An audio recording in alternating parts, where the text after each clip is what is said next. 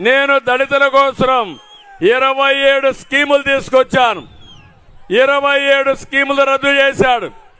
దళితుల కోసం sub sub plan ఒక్కొక్క సంవత్సరం ఇరవై ఎనిమిది వేల కోట్లు ఖర్చు పెడితే అవన్నీ కూడా నిలిపేసే పరిస్థితికి వచ్చాడు. కార్పొరేషన్ నిర్వీర్యం చేశాడు. బెస్ట్ అవైలబుల్ స్కూల్ పథకం రద్దు చేశాడు. కులాంతర విహాలు వివాహాలని రద్దు చేశాడు.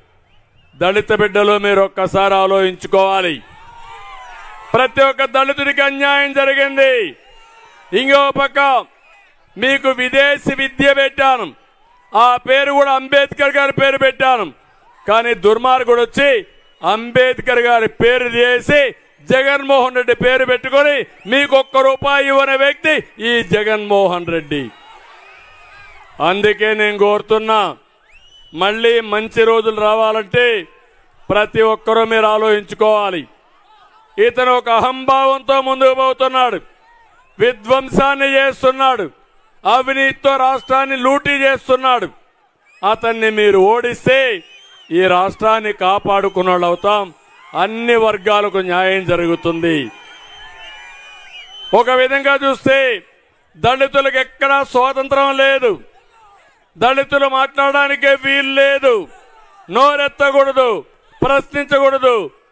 నిలబడి మాట్లాడే శక్తిని కూడా ఇవ్వకుండా ఇష్టానుసారం అహంకారంతో ముందుకు పోయే పరిస్థితి వచ్చాడు. రాష్ట్రంలో మీరు ఒక్కసారి చూస్తే నాలుగున్నరేళ్ళలో ఆరు వేలు పైన దళితులపైన కేసులు పెట్టాడు. నూట ఎనభై ఎనిమిది మంది దళితులు చంపేశారు. వేధింపులకు గురి చేశారు. ఒక్క సంఘటన కూడా స్పందించలేదు. కాకినాడలో వీళ్ళ ఎమ్మెల్సీ దళితుడిని చంపి డోర్ డెలివరీ పంపిస్తే ఈ ముఖ్యమంత్రికి సిగ్గుందా తమ్ముళ్ళు అని మిమ్మల్ని అడుగుతున్నా. అంటే మీ అహంకారం ఏంటి? మీ పెత్తనం ఏంటి?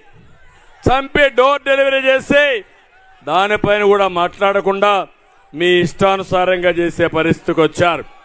నేను అందుకే దళితులందరికీ విజ్ఞప్తి చేస్తున్నాను. పదమూడో తారీఖు వస్తుంది. దళితులందరూ ఇటుకండి మీకు న్యాయం చేసే పార్టీ తెలుగుదేశం పార్టీ. మీకు న్యాయం చేసే కోర్టు